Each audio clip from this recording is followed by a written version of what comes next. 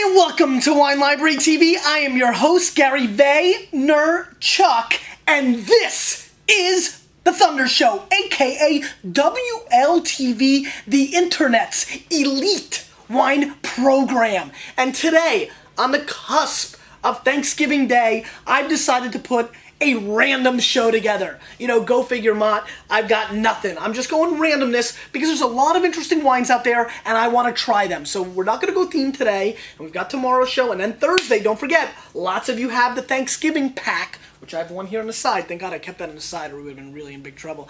And we're going to do that. There's going to be a show on Thanksgiving. Please join us. Hundreds of you have the Thanksgiving pack. Hopefully you'll round up all your friends and family and we can, uh, you know, bring them all together and show them the Thunder Show. So hopefully I'll put together a good show for you. So we've got four wines today. Uh, I'm really excited about them. I think there's a really interesting eclectic mix today. We've got a cheese in the hizzy called Sky Queen. Mott, they called you Sky Queen in uh, high school, didn't they? and, uh, and and that's what we're gonna do. So great show. Let me go into a couple of things. First and foremost, uh, we have another question today from the Ask Gary app. Anytime you want to ask me a question, I will no longer be answering them via email or any other place. It's the Ask Gary app. It's gonna help me organize all my chaos. That's number one. Number two, the widget contest. Another link over here. Mott, link it up again. That's how we do it because the widget contest is off to a huge start. Anybody in the world will be flown in right here, sitting next to me as my co-host for an episode of Wine Library TV. We're going to do a live drawing here on WLTV on December 6th, I think, off the top of my head. We're going to have all the names that I had. Over 200 people have already submitted by putting a widget on their blog. And let me get a couple of things out of the air. A lot of people asking me questions last night. Uh, first and foremost, number one, yes, uh, you can put the widget on non-wine blogs. Got a lot of that last night, Mott. That is totally fine. We love being in that, you know, different areas. That's cool. Number two, a family member. Really tricky question, but a lot of people who've got, you know, kids that have blogs or different, you know, brothers or uncles.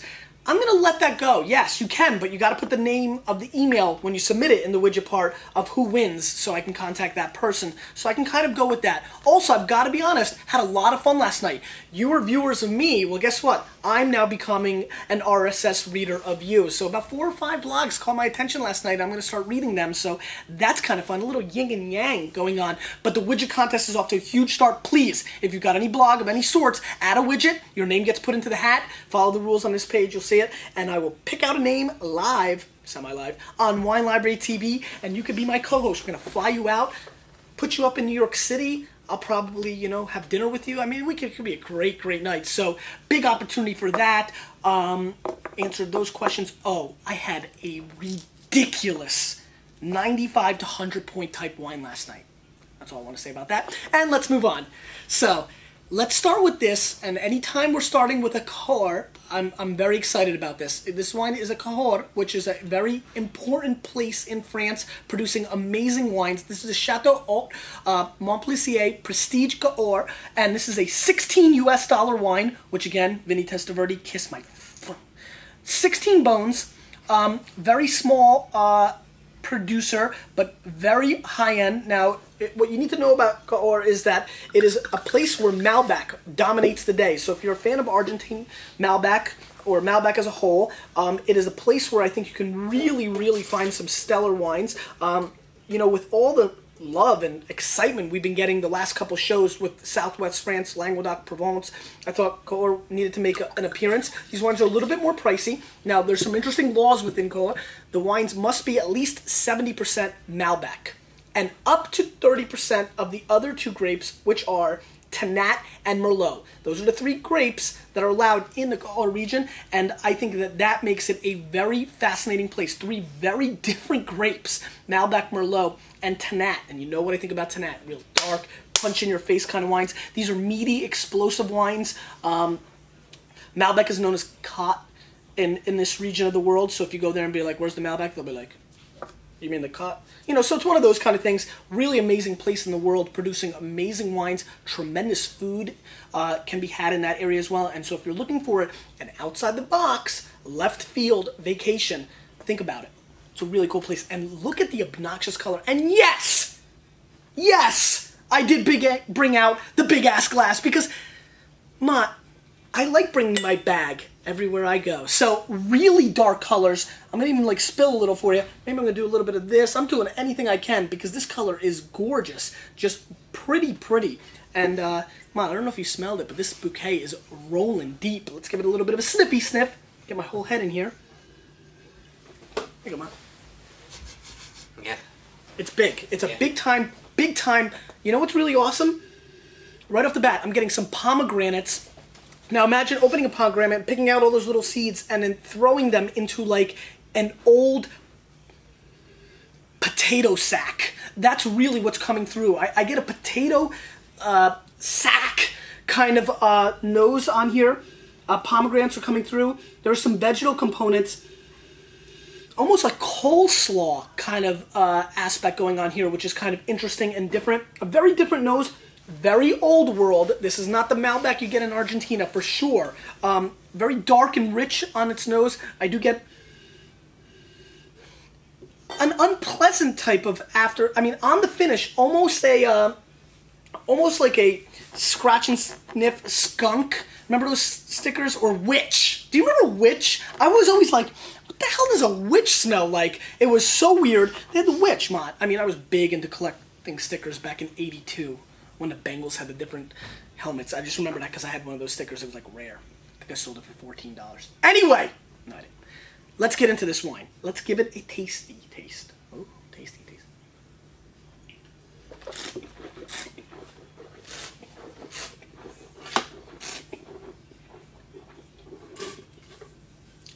Now, quick little question of the day, just fun on the side. How many people have experienced or drank a whore? If you have not, this is a place where you need to seek out. I'm really into this wine, but let's describe it out so that you don't go down that road and say, what the heck was Gary talking about? This is a very rich, tannic, monstrous wine. First and foremost, a young wine. A wine that I'd much rather see 2002. Wow. Still acting like a baby, baby, baby pants. And that's because Tannat is a grape that is so tight, so impossible to drink young. Really, a wine that's made for your great grandkids. That's how they roll. I mean, Tannat's like, I'm not interested in you. You're way too old. I'm looking for generation three, four. Now, that didn't work out for Transformers. Those sucked. Generation one. Anyway, this is a wine that is serious, serious dinner wine. I mean, even for me who drinks young, you know, barrel samples, high tannin levels wines, this is a difficult wine to just drink by itself. Now, I'm going to do it because I love you.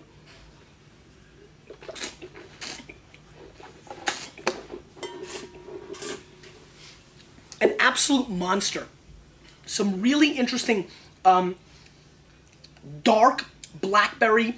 I'm getting some real interesting, um, like, I would go with sour cranberry flavors. Very, very dark berries coming through. A black cassis kind of really interesting.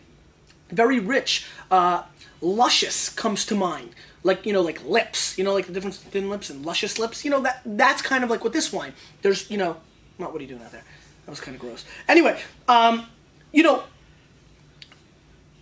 you threw me off. Anyway, um, this is a wine that is very viscous, very complex, uh, has a lot of, I almost want to say materialistic flavors, meaning it, it really kind of tastes like, like things, like, like, I, I, I hate to use this term because everyone's gonna be like, it's corked! Relax. But it does taste like cardboard in a way. I feel like I'm eating my Starbucks cup along with the dark mocha and maybe the blueberry juice that they put in there and all that weird stuff. A very interesting wine. I'm enjoying it quite a bit. Flat out dinner wine, wine that I'd like to see put away for three years, a wine that I'd love to have with blue cheese, that roaring 40s we threw back back in Wine Library TV history. On, let's let's link up that episode. I'm gonna have to find it. I want to link up the episode we did the Roaring Forties, if because there's a lot of new Vayniacs and they need to see that episode. Uh, link that up. You need to check this out. It was a great cheese. We got a cheese today. I'm excited about Sky Queen. Um, a pleasure wine for me. I'm really enjoying it. This is a bang for buck again.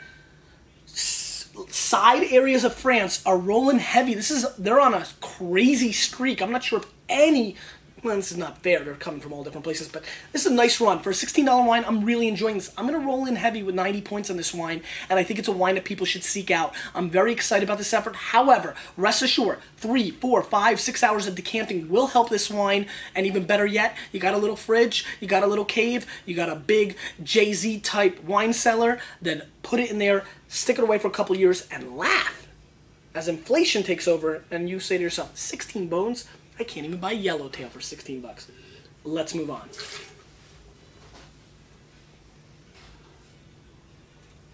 Interesting. Tamarack Cellars. I'm excited about this. You know what I feel about Washington State. Uh, I really do believe Washington State is the state in this country that produces the best wine. I just do. I mean, I love California. Please, I have so many friends there. Please, enough with the emails. I understand. But it's my opinion. Now, I'm really sick about Walla Walla. I do believe it's the premier area. But Columbia Valley, consistently producing beautiful wines. This is the Tamarack Cab. 14.3% uh, alcohol content, 25 US dollars. Um, and this wine is 90 points from Jay Miller, who's now reviewing Washington State wines for Robert Parker in the Wine Advocate. Uh, let's give it a little bit of a rinsey rinse. Oh, rinsey rinse, drinky drink, snippy sniff, taste taste. You can really get in there. I like to double up the words, Mont. Emphasize it. Secret stash in there. Anyway, Tamarack. 25 bones. We had a throwaway.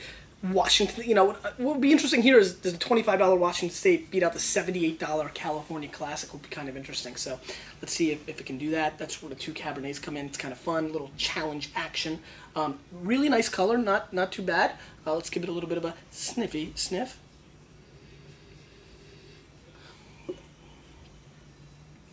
Now I'm not sure if like because Seattle is like the coffee capital of the world, and by the way, I'm about to get 15 emails saying I'm wrong about that. But just when I think of Seattle, I think of you know coffee quite a bit.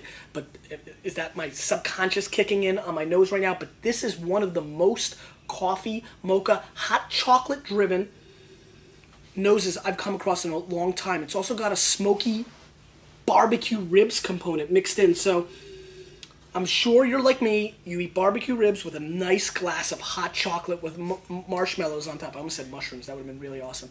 Um, that's what this smells like. Not bad. Not crazy, but not bad. Let's give it a whirl.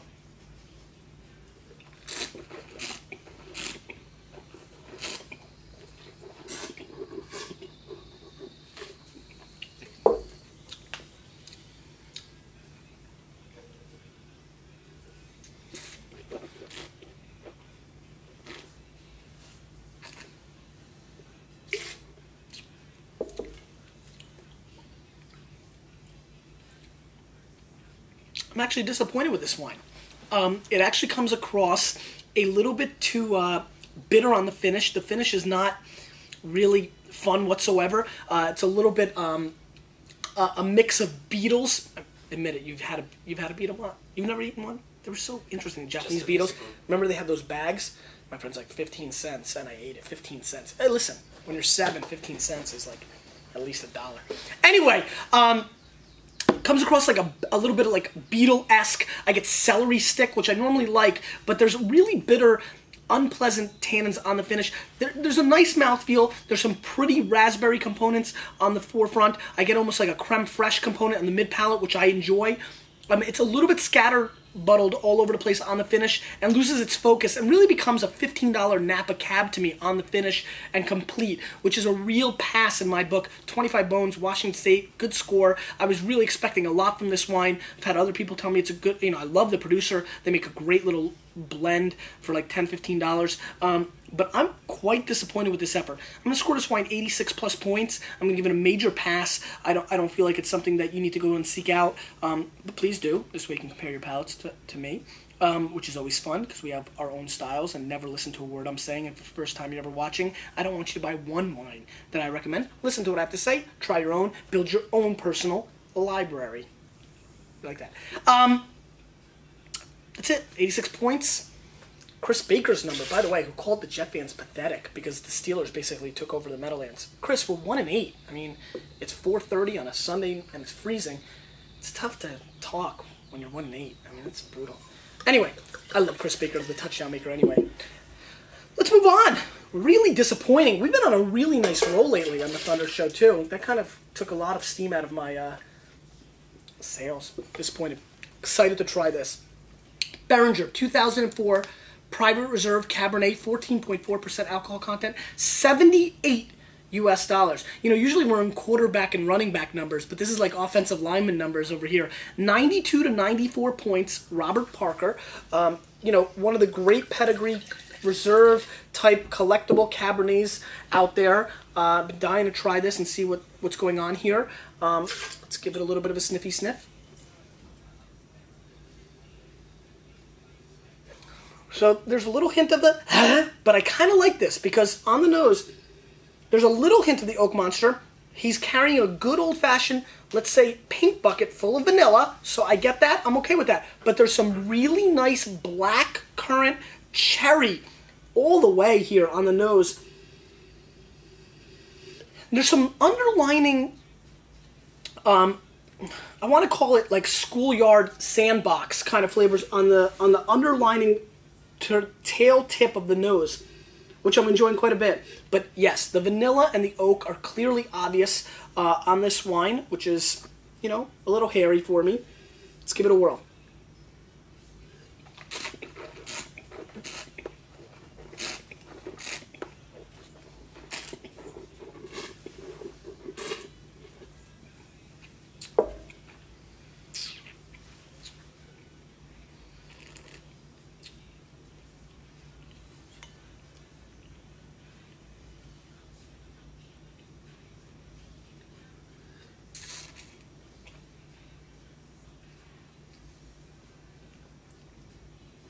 I like it. I like it. I'm impressed. This is a wine that exhibits vanilla, oak. It is a fruit bomb. However, it is contained by very impressive second tier tannin structure, which I'm very impressed with. A gorgeous blackberry currant jam esque flavor on the mid palate, and beautiful rivers. Come with me now put, get in the boat with me. Rivers of red fruit, cranberries, raspberries, strawberries, cherries. It is red fruit river, and anytime I can take a trip down the red fruit river and the oak monster is not sitting and you know, kind of cramping my style, then I am down with that wine. This is an exceptional effort by Beringer, actually. I think Parker is really in the wheelhouse. I'm going to split him right down the middle and go 93 points on this wine. This is a wine that will last for 10 to 15 years with this back end tannins, and a wine that I would really enjoy to eat with lots of different foods. Believe it or not, and this is where wine gets weird with me in food. I actually would like to have this with lobster, and that sounds like brr, but without butter, like a sweet, delicious Maine lobster, and this wine, because of the way the red fruit is going on, is something I can really see myself enjoying. I'm actually going to jump to the cheese right now because of the freshness of the fruit. We're actually ending with a dessert wine, which I thought I was going to do, but I'm going to do this. Man, I don't even know what the cheese guys are getting crazy. They brought me the Sky Queen, the Geitost cheese, which is from Norway, and uh, I don't even know how much it is or anything. just link up, uh, get the price from Justin and just link his email up there if people want information. I think we can even ship it. And um, it's pretty cool. I mean, it comes in this, it looks like something from Norway, right? It's like, hey, you can buy this like at the pharmacy in Norway. Anyway, let's give this a whirl. This is really wild stuff. You know, it looks like a big brick of poop, kind of like, you know. Caramel. But it does look like caramel, doesn't it? Is it caramel or caramel? I don't know. Anyway, it smells like caramel as well.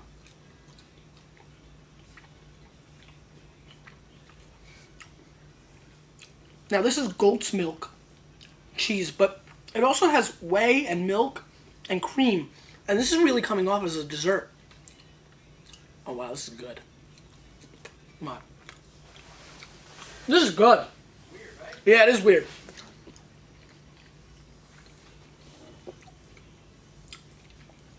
That's sweet. Oh, it's sweet. This is very wild stuff.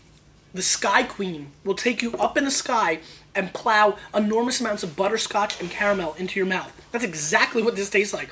This is really butterscotch and caramel. I don't know what else to say. If this is cheese, then I need to try the ice cream that tastes like mozzarella. Because, I mean, this is really a dessert. You like it or is it too sweet for you? No, it's good. Oh, it's good.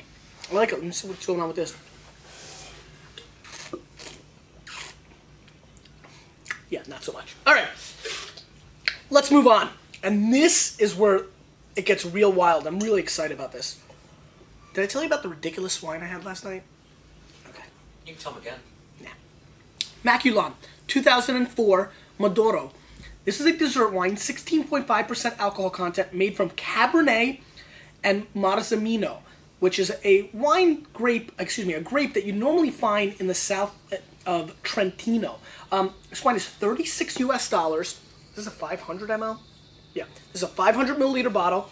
And this wine scored 96 points from Antonio Galloni, who is the Italian wine critic for Robert Parker now, who I have to tell you is a very conservative critic. Now, don't forget what I told you dessert wines trick us all, just like this cheese. I mean, this is a cheese you bring to a non cheese lover. I mean, this is candy, right? It's candy.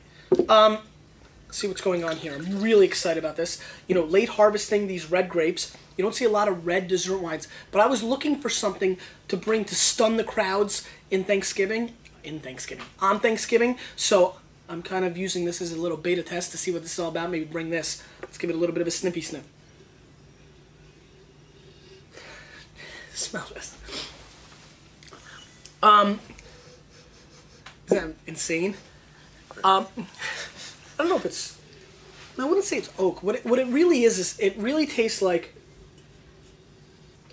almost like gasoline meets green beans meets grape and blackberry candy fired down with like a fire torch. Like, I mean, like really interesting blend of this this car auto body viscous kind of thing. The green beans are really obvious actually and then this like licorice kind of candy. It, it smells hot. I actually feel like if I poured it on me, I would burn a little. So let's see what it does to the palate.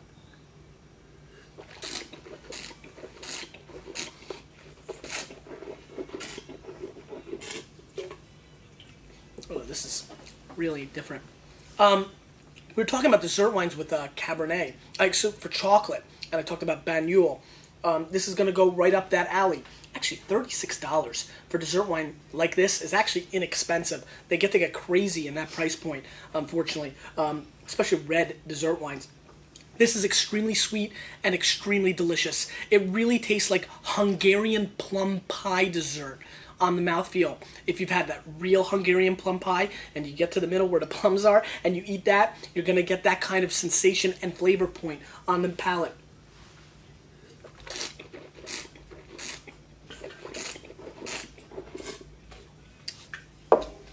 I need to eat a pickle. All this. I don't know about you guys, but I go from like, like real food to dessert, and then I have to finish off with like something sour. Um, there's just too much fruit, and and you know between the Cabernet that had really good fruit to the straight dessert that they call cheese, now to this extremely viscous, monstrous liquor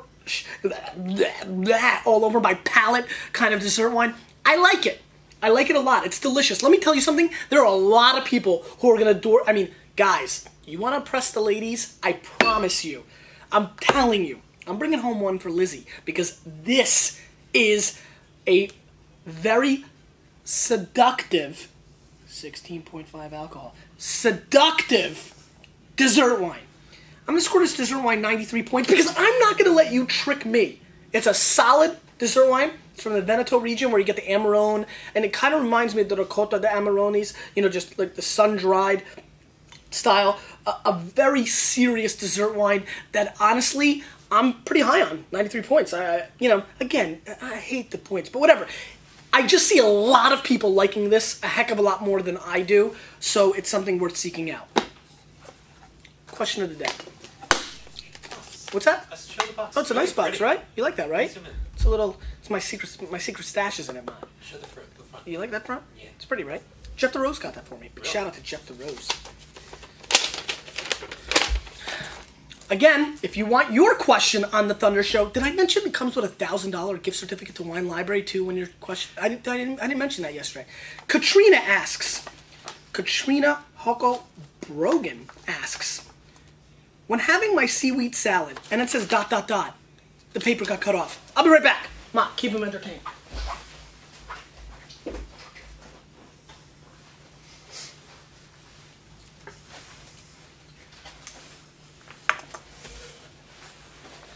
I'll take the opportunity to try this dessert wine. Oh, Ma! Mmm. it's delicious.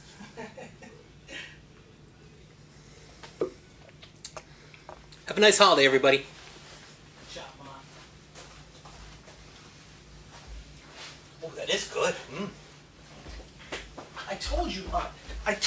People would like it more than I would. So Katrina's asking, when she had seaweed salad, she found herself wondering what wine would go with the seaweed salad. I'm sure all of you, after watching the Thunder Show, are constantly consuming things, whether they're corks or He-Man figures or sweet cheese, and saying, what wine goes with that? And so she's asking, what wine goes with seaweed salad? What do I recommend? And the funny part is, is that this is very interesting. Talk about segue action. I'm like a professional show now. I'm doing a sake episode tomorrow. I've decided. And that's what goes with seaweed salad. But above that, believe it or not, Verdejo, which is a white wine grape that I found goes tremendous, tremendous with seaweed salad. So that is your answer. Uh, now I've got something for you. Huge shout out to Canada. I have to give Canada some major love. Enormous amounts of Vayniacs north of the border, Mott.